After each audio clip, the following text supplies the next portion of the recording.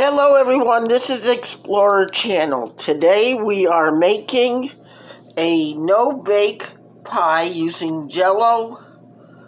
We're making a cream cheese no-bake pie. Here is your pie filling. You'd use two of you use two packages of the cream cheese pie filling. You whisk it up with a whisk until it's nice and thick. And once it's nice and thick,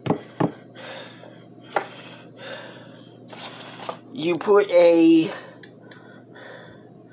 you're going to put it in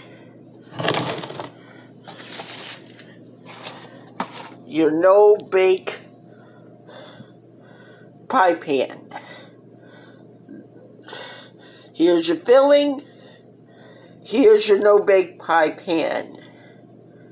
This is what it looks like before.